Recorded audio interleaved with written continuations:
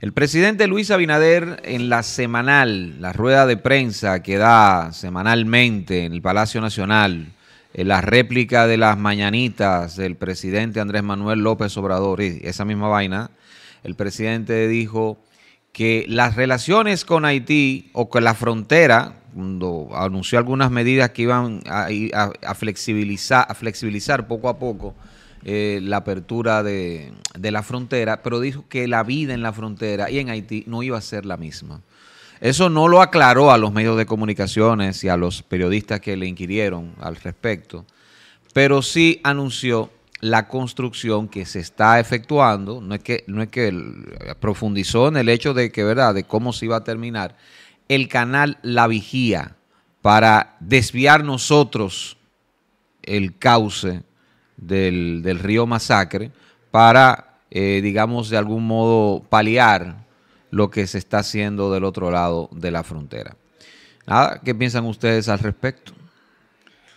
Bueno, eh, desviar no, es como... Aprovechar aprovechar. No, porque acuérdate que desviar es, lo que desviar es lo que está en conflicto aquí, esa palabra, es lo que se, le está acusando a los haitianos de hacer con el río y que no está permitido en el tratado del 29.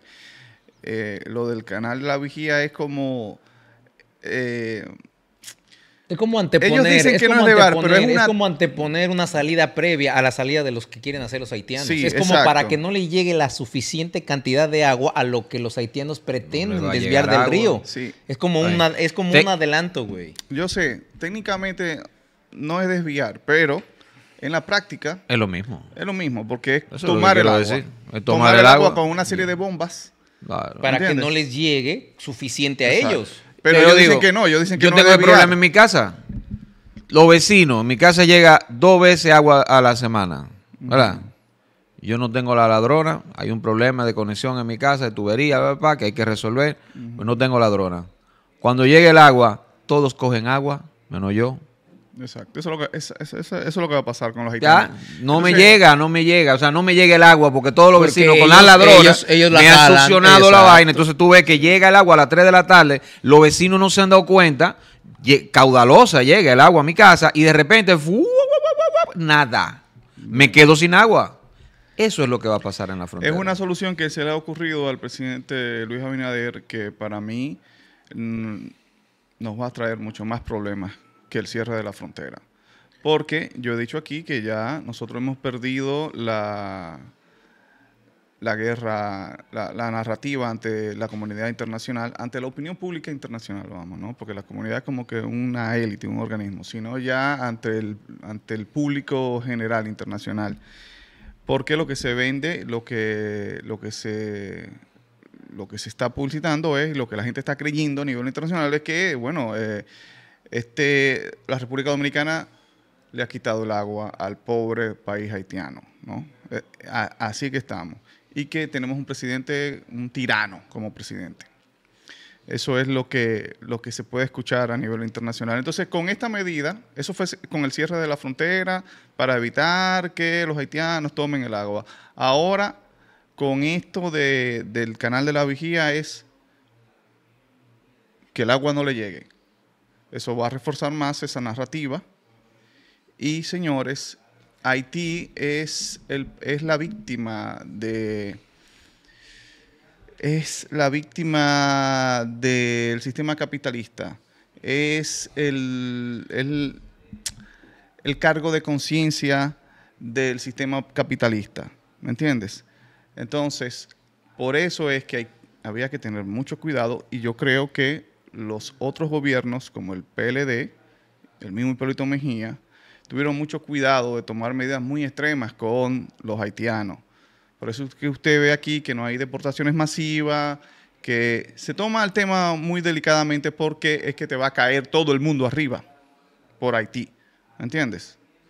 Entonces, este fue uno de los mayores errores políticos que desde cuando Trujillo se atrevió en el 37 a hacer lo que hizo con los haitianos. Este, señores, ha sido el mayor error político. No, no, no, pero no. Desde la masacre. Sí. Bueno, pero no hay comparación, ¿eh? No, olvídate. No, no, no, pero él dice, pero, él, habla, él habla de un error político. porque porque lo otro, porque ah, lo que pasa es que tú tienes que ver ese tema del que habla José Maracayo, independientemente del saldo. Es muy lamentable eso. Pero si tú lo analizas, como lo dice Maracayo, con una distancia y geopolíticamente hablando. Pero no solamente la distancia, no, no, en sí el contenido del acontecimiento. espera, espera, espera. pero yo no estoy comparando. Eh, geopolíticamente hablando.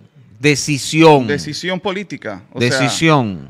ha sido lo peor desde la masacre. De... Yo estoy, totalmente de acuerdo.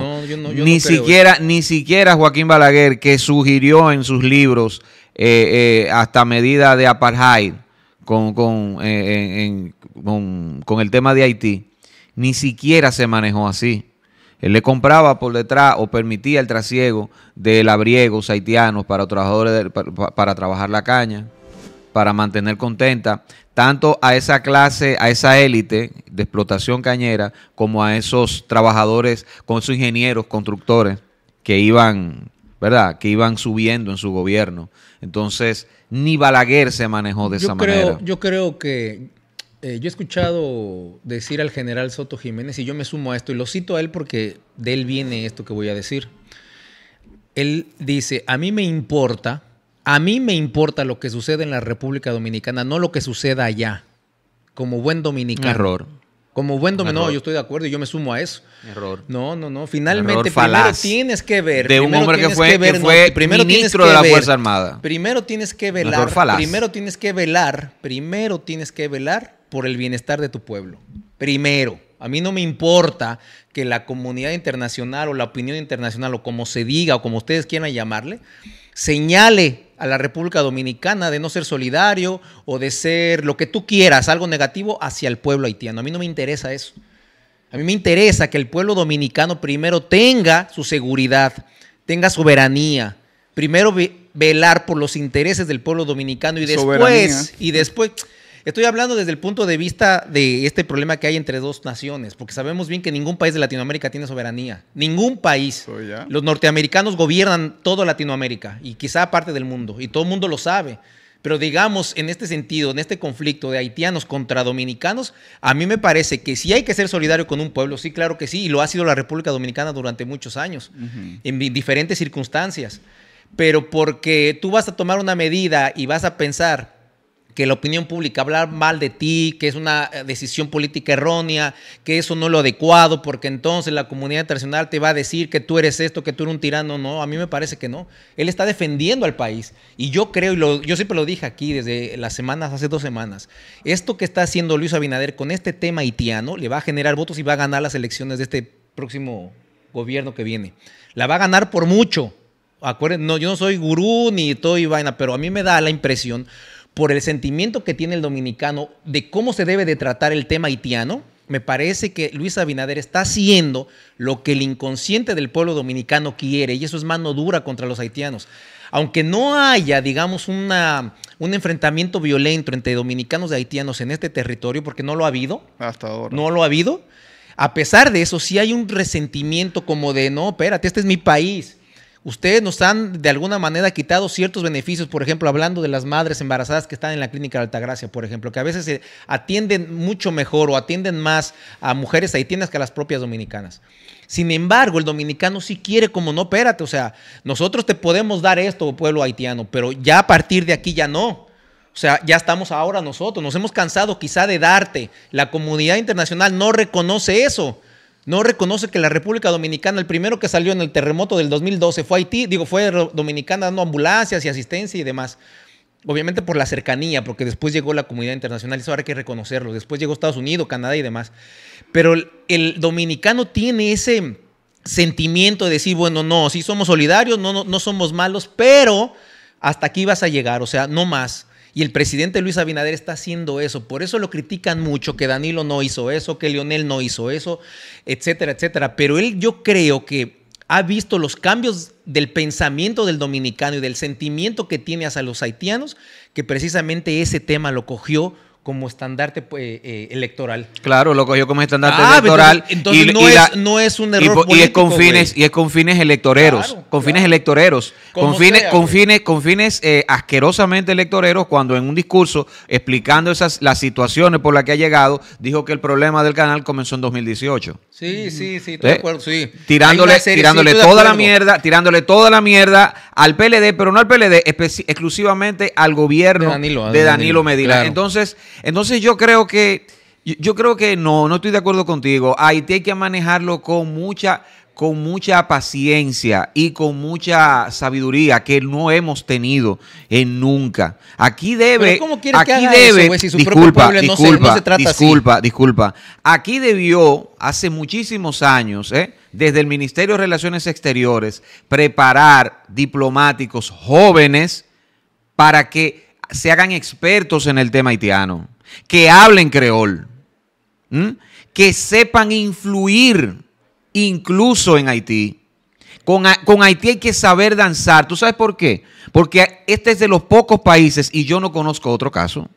Lo estoy diciendo porque no conozco. Aquí lo que son expertos vendedores de visas dominicanas. Exactamente, aquí no somos descarados con eso. Pero aquí debimos, eh, somos el único país, men, donde somos una sola isla y hay dos naciones. Dos naciones completamente diferentes en muchísimos aspectos. Hermanadas en otro que es África. Tenemos de África, aunque, no, aunque, aunque no lo queramos ver, ¿no? Tenemos mucho de, tenemos mucho de, Europa, España, pero somos, negros también y somos mulatos también. Ahí nos une ese vínculo. Pero hace mucho tiempo que se debió incidir en Haití. Yo recuerdo una conversación que tuvimos con nuestro gran amigo, el intelectual eh, doctor Carlos Pineda. Recuerdo hace mucho tiempo, ¿no? Que habló, ¿qué hacemos con los haitianos que están en República Dominicana? hacerles que les duele la República Dominicana. Y es lo que no hemos hecho. Recuerdo que dándose entrevista, pocos meses después, cerraron un programa en Radio Nacional porque transmitía en creol. Y Radio, y Radio Francia Internacional, bien, gracias. Pero dime una cosa, güey. Bien, ¿Cómo gracias. pretendes que Haití haga Entonces, yo creo que, la, estrategia... ¿Por qué, por qué, prohibieron un programa en creol aquí en la República Dominicana? Por eso, por el odio. Por el odio que existe, por la xenofobia que existe. ¿Qué argumentos? Que no se puede eh, incitar a la transculturación. Porque muchísimo. es otro idioma. Otro idioma. Pero Radio France transmite en francés, en inglés, en muchísimos idiomas varias veces al día República, para República Dominicana. Yo recuerdo ese programa que estaba en la planta de... Teleradio América. Teleradio América, creo que estaba en, en HI, en, en, AM. Sí, estaba en AM, sí. Y en esa misma planta estaba Neon 89. Y estaba Studio Rock. Y en Studio Rock y en Neon habían un programa de música electrónica donde su locutor animaba en inglés. En inglés puramente. Muy, muy bien. ¿ah? Pero la emisora 100.1, la 100.1 es en Spanglish y habla muchísimo inglés. Tú, si tú no sabes inglés, no trabajas como locutor en 100.1. Bien. Pero espérate, porque ya no salimos del tema. Yo quiero que me conteste. No, no, no, no. Espérate, yo quiero que me conteste él en su planteamiento. ¿Cómo pretendes, cómo, cómo pretendes que República Dominicana haga lo que estás diciendo si el propio Haití en su propio pueblo no lo hace? Haití, de entrada, es un estado fallido. En, Haití no hay ni orden. El que está ahí ahora mismo eh, como, como ministro, como presidente, no tiene ni siquiera el monopolio absoluto de la violencia.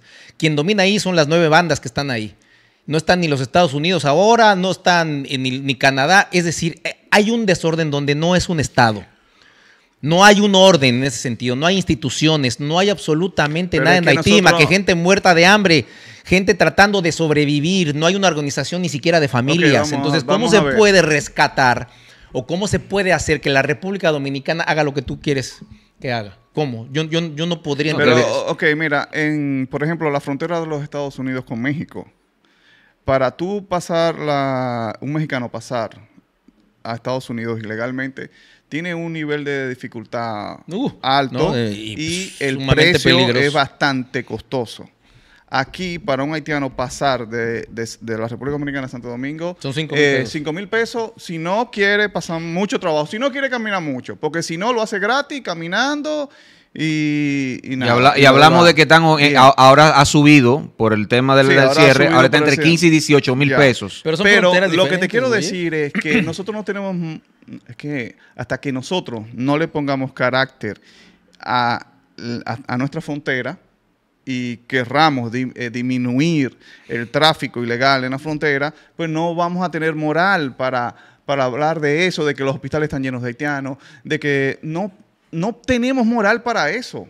¿Me entiendes? Sí, estoy de acuerdo en eso. eso es otro punto. Y otro punto es, tú hablas de la soberanía. Tú hablas que el presidente, el cierre de la frontera es un acto de soberanía nacional. Para mí es todo lo contrario. Todo lo contrario. Es un acto de sumisión a las órdenes de Estados Unidos, a los intereses de Estados Unidos, que siempre ha querido tener a Haití deshabilitado, siempre ha querido que Haití sea un Estado fallido. Recuerda que desde... En un momento, ¿eh? En un momento, no, en todos los momentos. Acuérdate que, acuérdate que los Clinton, cuando Clinton fue presidente, eh, Haití estaba muy bien. Haití, recibía recursos. ¿Y qué pasó con Durante ese tiempo recibió... bueno, no, pero ya cuando no, le sirvió como no estaba muy bien cuando, Clinton fue presidente. de, de, de, de hecho, cuando salen los Clinton, cuando sale Clinton del poder, todavía la Fundación Clinton sigue suministrándole ciertas eh, cosas a los haitianos para que puedan sobrevivir. Pero cuando ya no les sirve, entonces lo abandonan. Es cuando tú dices, por ejemplo, que ahí hay oro, que hay ¿Dónde hay todo eso que, los norteamericanos no están ahí cuidando ni resguardando Pero cada vez que llega un presidente que quiere hacer algo por Haití, es derrocado. ¿Y quién está detrás? Estados Unidos. Pero claro que el Mira al presidente que mataron el otro día o sea, cuando hay visos de independencia, avisos de independencia de algo, ya, listo. Dijo dos, tres cosas que no le gustaron a los hijos de Estados Unidos, ah, casualmente lo mataron. ¿Me entiendes? Es decir, entonces, este cierre de la frontera lo que busca es o sea, hacer más caos en la República de Haití. Más caos. Pero a ti te importa más lo que pasa en Haití o lo que pasa en República claro que me importa más, ah. eh, claro que me importa igual lo que pasa en Haití. Igual. No pero claro que sí. Igual. Es que no, se afecta directamente, viejo. No afecta directamente. Pero claro, hay más, hay más flujo migratorio. Hay más flujo migratorio. Si bien es cierto que yo estoy de acuerdo contigo en lo que tú estás diciendo, si la frontera, si la frontera sigue así, si la frontera sigue así como está, no va a haber solución al problema haitiano dominicano. Nunca lo va a haber. Pero yo me pregunto, han pasado. ¿Tú la prefieres cerrada como está han, han pasado 16 años del PLD. El PRD 4, un periodo, ¿verdad? Con Hipólito. 16 del PLD, lo que llevamos de este PRM, que es la misma mierda del PRD. Y nadie hace nada por esa frontera, es por algo. O sea, es decir, tres, tres, tres ideologías distintas de partido político, tres se supone, tres intereses distintos, se supone en la República Dominicana y que la frontera siga igual, que el problema haitiano siga igual, es por algo.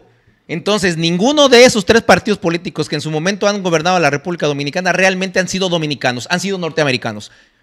¿Verdad? Entonces, ese es el problema. Entonces, ¿cómo, cómo contrarrestas eso siendo muy dominicano? Cerrando la frontera. cerrando la, claro, eso, eso, es muy dominicano. Cerró la frontera. Y mira ahora, y mira ahora cómo están los principales grupos económicos. Yo estoy defendiendo a Binader. Pero una cosa, los principales grupos económicos que le dan un chin de respiro a los haitianos que viven por la zona fronteriza, están gritando ya, mira, vamos a votar haitiano. ¿Tú sabes lo que implica eso? Que cierre, que, que cierre eh, Codevi, ¿eh? que cierre Haynes que cierren esa, eso, eso, esa empresa de zona franca ahí. Tú sabes lo que eso implica, ¿no? Más haitianos para la calle y pero más, pero más, riesgo de, que, vengan para acá, ellos y su familia. Entonces, no, cerrar la frontera, yo no creo que sea una, una medida bonita e inteligente. Y más con lo que dijo el presidente, que no lo aclaró, que todavía mete a uno más como en, dijo, en temor.